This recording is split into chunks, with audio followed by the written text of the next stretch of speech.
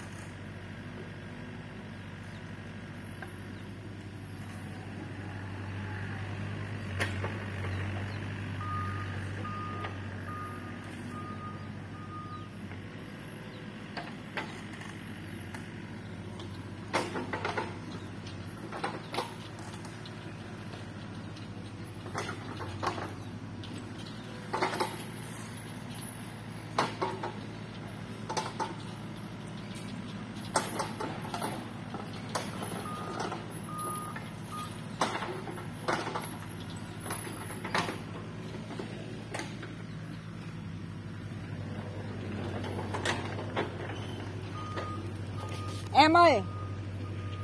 Trường ơi. Hạ hết toàn bộ cái này xuống các chị nhá. Toàn bộ đất xuống. Cả cái này.